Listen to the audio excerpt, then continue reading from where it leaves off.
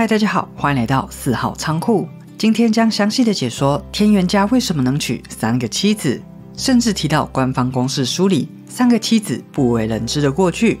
那我们立刻开始今天的影片吧。英柱天元的三个妻子除鹤、木须、须磨，不仅每个都非常具有个性，他们过往的身份与行为也都非常不平凡，像是出身名门天元的亲戚抢婚。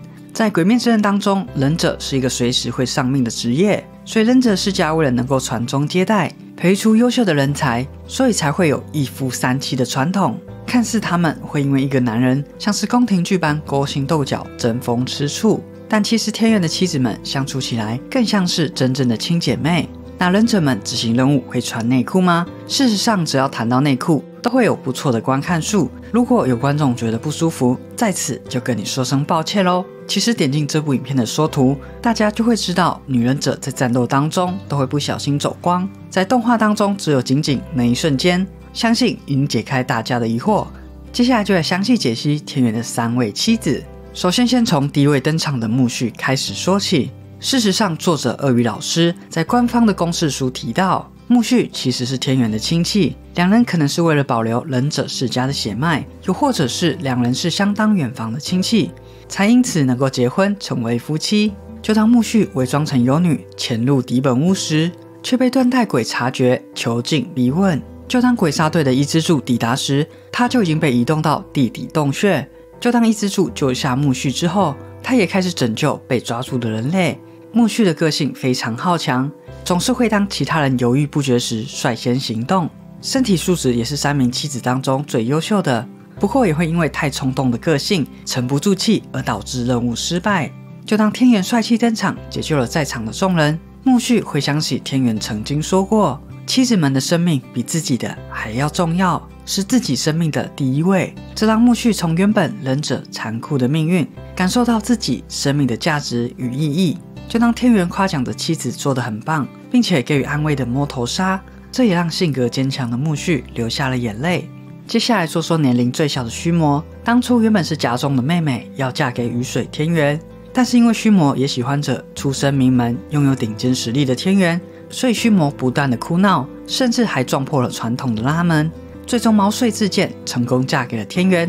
简单来说就是抢婚。这次的任务潜伏于宝屋，不过他在探长抵达以前就已经失踪。胆小的他还在日记里写满想要逃走的想法。虚魔的个性胆小，不论是开心难过都会大哭，就连在战斗当中也是泪流满面。身为英柱的妻子，战斗当中不断尖叫干扰敌人也是相当合理。他还对伊之助说自己不擅长战斗，所以不要抱有任何的期待。这样灭自己士气的胆小行为。也经常被木须教训，这突然让我觉得善意算是勇敢的了。最后就是三个人当中最成熟稳重的楚鹤，他出生于忍者界，仅次于雨水家的名门望族，专门负责潜入敌营、收集情报的工作，并且擅长战斗与使用毒术。这次的任务潜伏于荆棘屋，但因为敏锐的洞察力，发现店里绝技花魁的真实身份不是人类。这一刻，上弦之六舵机也察觉到了楚鹤警惕的眼神。将被杀掉的楚鹤只好服毒装病离开荆棘屋，但离开前舵姬送了一条腰带作为监视，并且随时杀害楚鹤。最终他被天元救下后，还一心只想着没帮上任何忙，自责的向英柱天元道歉。那接下来我将会说更多楚鹤的细节，但因为动画剧情还没有演到，所以动画党的朋友还请斟酌观看。世上，女忍者的实力超越一般人类，但还是无法与使用呼吸法的鬼杀队相比。所以，就算楚鹤遇上了鬼，也无法斩首消灭他们。那为什么三位妻子还是以命执行任务呢？那是因为身为忍者时，因为金钱与任务夺走了许多无冤无仇的生命，这样的罪恶感让楚鹤想着想要击倒一名上弦，因为消灭了上弦就相当于拯救上百条人命，就从此退出作战前线，过上普通人的生活。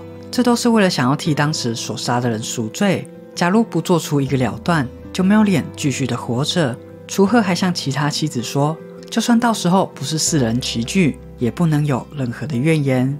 原本已经中毒的楚鹤被天元要求离开吉原，但富有责任感的楚鹤还是带病来到了战场，并且使用带着毒药的苦无攻击着上仙。最令我佩服的就是差点被杀掉的楚鹤，在上仙面前依旧全力帮忙战斗。在战斗之后，楚鹤、须磨、木须赶紧替身受重伤的天元包扎，不过鬼的毒素依旧无法化解。就当天元要说出遗言时，须磨还不断的哭天喊地，害怕着天元死亡。这时木旭却用石头塞进了须磨的嘴里，天元顿时怀疑着人生，竟然在这一刻因为太吵而无法说出遗言。不过幸好毒素被祢豆子的暴血所消除，从此退出一线战场的除鹤、须磨、木须依旧会帮忙鬼杀队准备食物，他们也会前往探望与鬼作战后受伤的炭治郎。不过须磨太兴奋，过于大声，又再一次被木须教训修理。